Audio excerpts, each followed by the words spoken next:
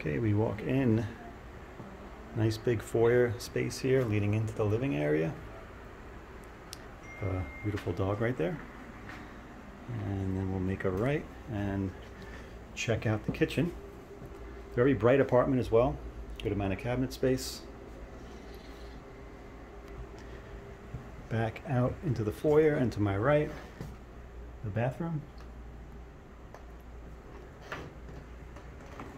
And then into a very large living area, as you can see.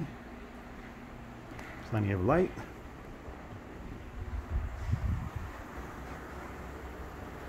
Sorry, I don't mean to get you on video.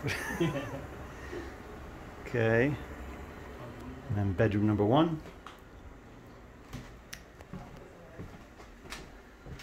This would be a queen size, but maybe a full if you decide to leave this closet. It's a quite a large closet. And then bedroom number two. This is a king size bedroom and this has a double closet.